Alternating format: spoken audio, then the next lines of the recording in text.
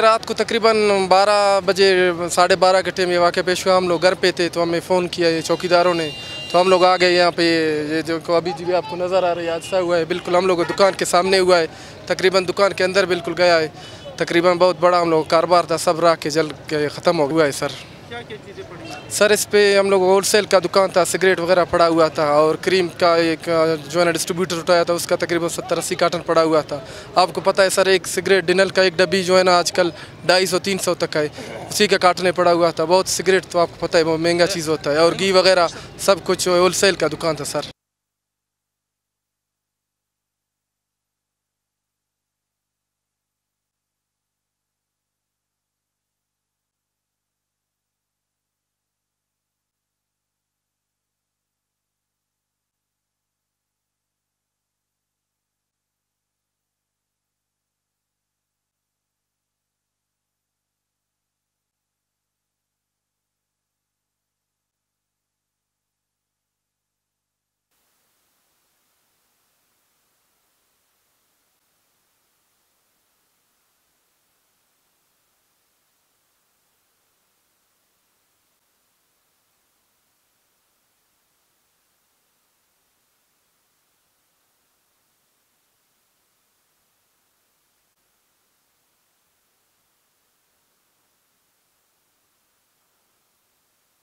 گزارش یہ رات کو بارہ بیس پہ یہاں پہ یہ واقعہ پیش آیا۔ ہے آئل ٹینکر، تیز رفتاری کی باعث یہاں پہ الٹ گئی ہے، جس میں پٹرول بھرا ہوا تھا۔